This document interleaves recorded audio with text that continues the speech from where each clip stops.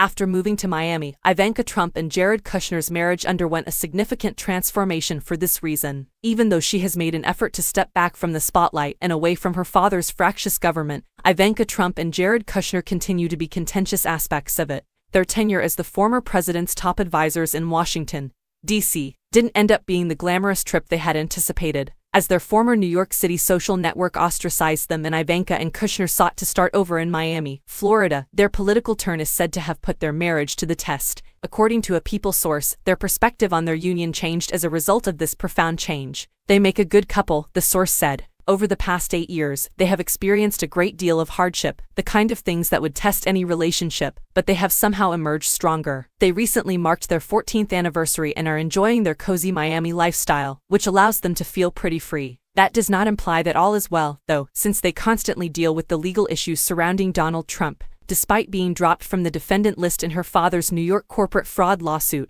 Ivanka will probably have to testify regarding her knowledge of the Trump Organization and its purported overvaluation of real estate. Since they aren't entirely out of hot water, they still need to watch out for one another. The source continued, they know they still need to be careful with what they say and how they act, but they have no interest in living a life where they are constantly being filmed. Kushner and Ivanka are attempting to re-enter high society with assistance from friend Kim Kardashian. However, Kushner has now been able to spend a lot more time with his family because over the last four years that was something neither of them could do as much as they wanted to since leaving Washington, D.C. Miami may feel like a vacation, but the Trump family may still face legal issues in the future, which might be the next test in their marriage.